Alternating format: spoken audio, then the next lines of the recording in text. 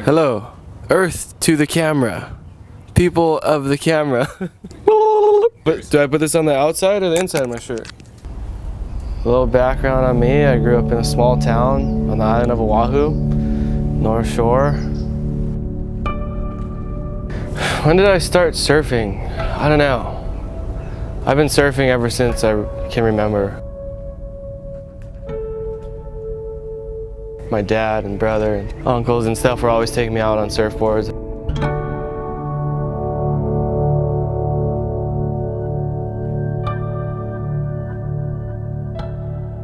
I mean, obviously I felt like I had some really big shoes to fill with my brother being Makua Rothman, my dad, Eddie Rothman. Growing up, um, like Kala Alexander lived next door and Kyborg Garcia, and these are all like the biggest names in surfing. All Makua's friends who would come over were all these professional surfers like Andy Irons, I mean, just Bruce Irons. Like, I, I could go on, I could go on about it, but I always felt like, wow, I gotta do that. You know, I didn't really know no one, no one around me had a nine to five.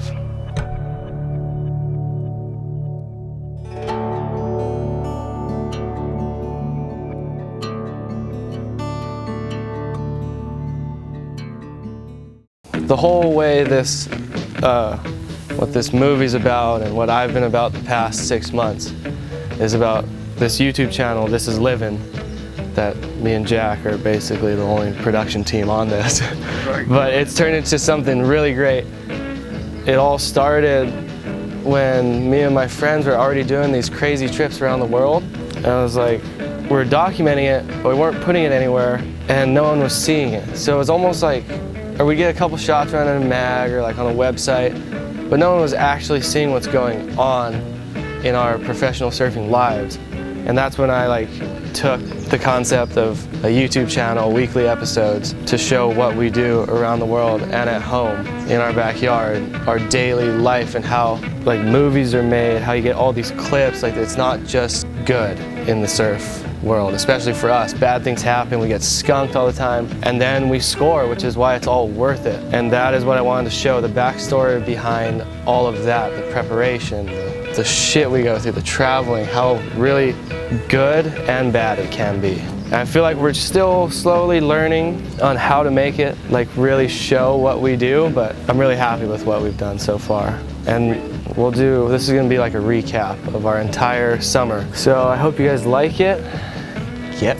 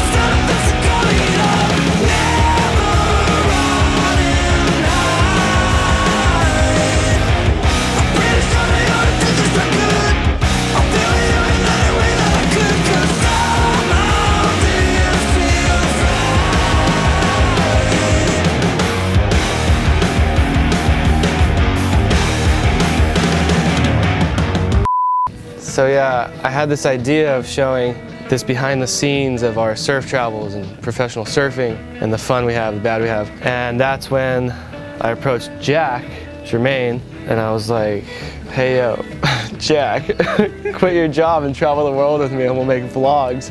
And he's like, done. Made our first vlog, did well, and then a couple weeks goes by, first trip straight to Fiji. Or Nathan Florence, Koa Smith, Billy Kemper, Ivan was there, yeah, it was Jack's first trip. We've made a couple videos. I didn't know what to do. Talking to the camera was kind of difficult for me, like daily and like explaining what we do. And we got really fun waves. We had a great time. It was really epic. And then we, we go home, get home. We're like trying to make these episodes. Next thing you know, another swell goes back to Fiji. But this was a much different swell. It was huge. We went with my brother, Eli, Nathan and Billy again, Koa Smith, and Kiron Jabour. And we got some really, really incredible waves that I'll never forget. I actually had one wave that I probably will never forget. Just that vision of like paddling into a wave like that, pulling in and then getting smoked. Oh my God, I got so pounded on that wave. Because it wasn't just that wave, you know what I'm talking about. It was all the waves after it. Fiji's an amazing place. Cut to the Fiji part. Cut, motherfucker.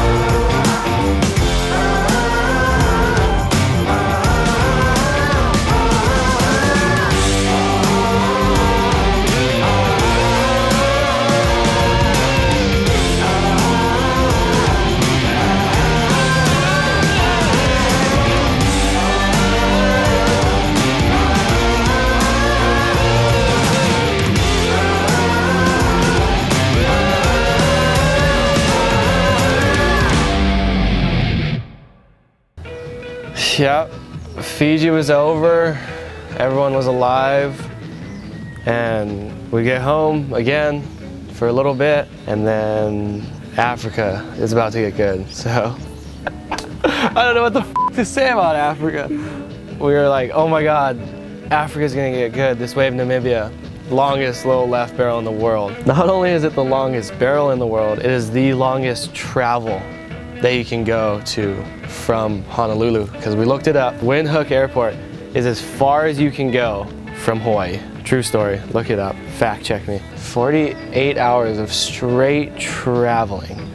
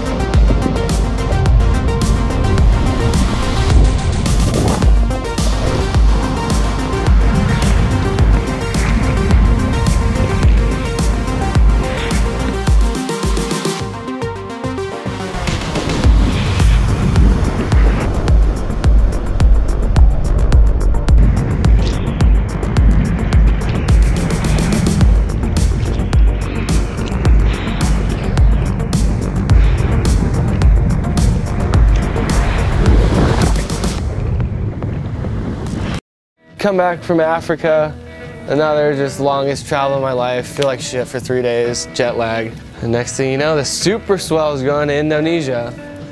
Pack our shit. No, I didn't even unpack my stuff. I left my bags packed from Africa. Maybe I had a board or two.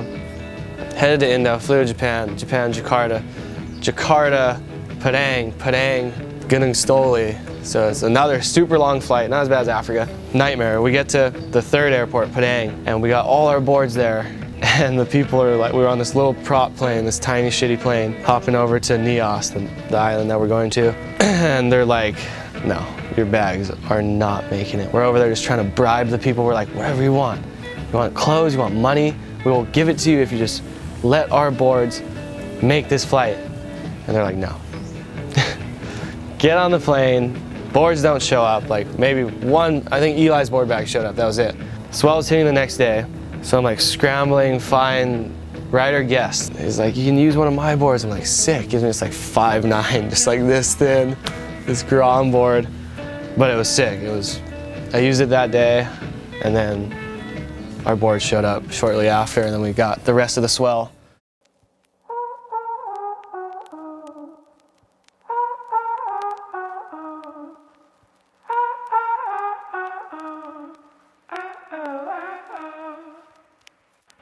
Fucked and drank all night, acted all alright. Had no need to fight tonight, tonight. Fucked and drank all night, acted all alright. Had no need to fight tonight, tonight.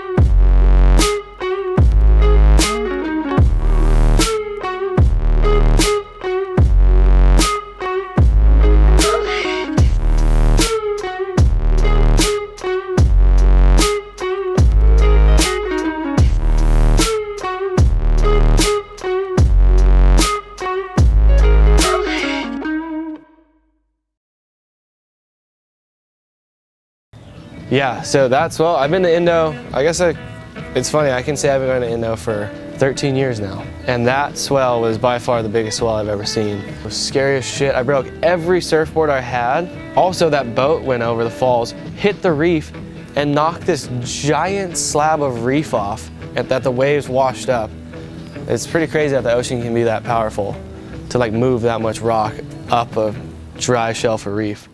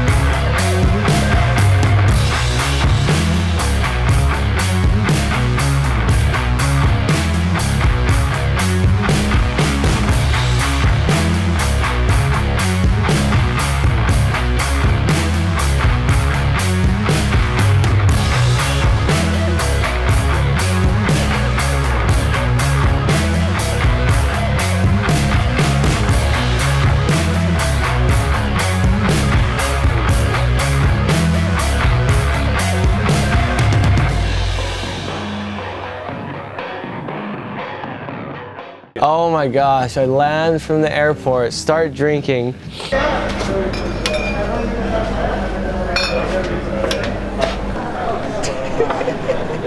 I'm just that guy. It's my first beer since home. oh man, we're getting started. Some random's board bag looks exactly like mine. It's got like no boards in it because I broke all my boards. A couple beers deep, grab his board bag, get back to the house. I'm like, oh, I'm gonna go. No, it was the next day. We went out and partied.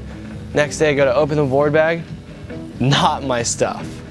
I'm like, where is my surfboards and whose bag is this? I grabbed the wrong board bag. I don't even know whose stuff this is. This is Koa Rothman, and I have your board bag. I thought it was mine at the airport, and I'm in Canggu, so.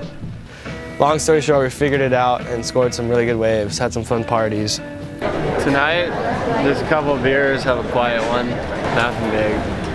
Oh! How do you do that? We start the party, motherfucker. Let's lose. Let me rephrase that. We are about to hit new levels of crazy. Once again, it's that young fat nigga need to hit the treadmill. Nah, I changed my mind, I pop an X pill. Them hoes lying if they say they don't swallow it. That's why they got the nickname brain problems. I'm at the Ramada, cooking with a crock pot. Honey walnut shrimp, reheated from John. I got the stove on, so the room smell like what's cooking under my underarm. Saute onions. Some ladies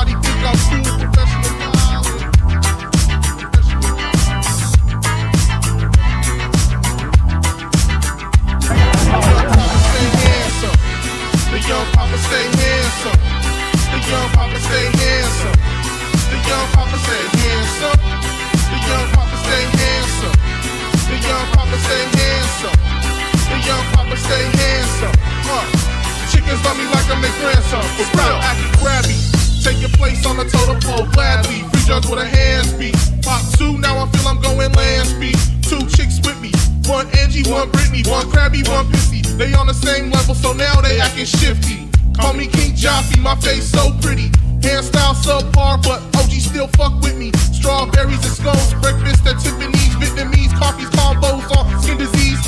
What I Can you pour a shot in his mouth?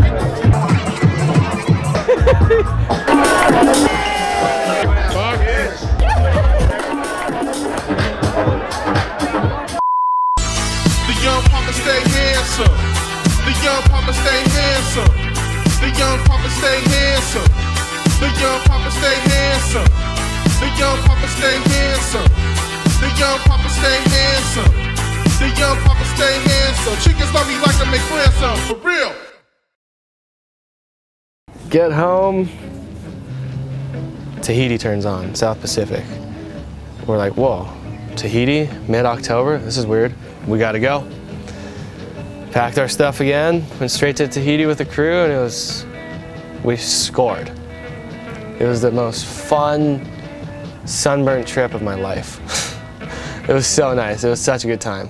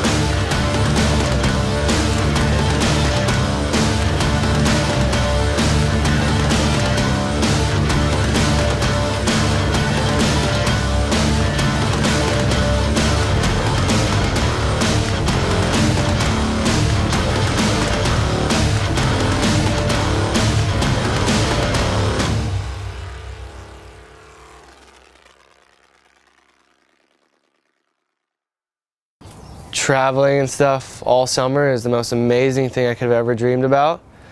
You get to meet cool people, surf the most perfect waves ever, all these crazy experiences with your friends.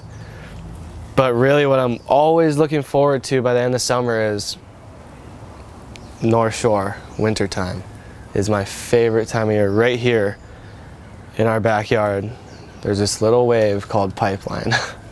that is just, I there's no better wave. I haven't found a better wave on the planet than pipe. There's nothing that compares, you can compare it to. Maybe it's just because where my heart is, you know?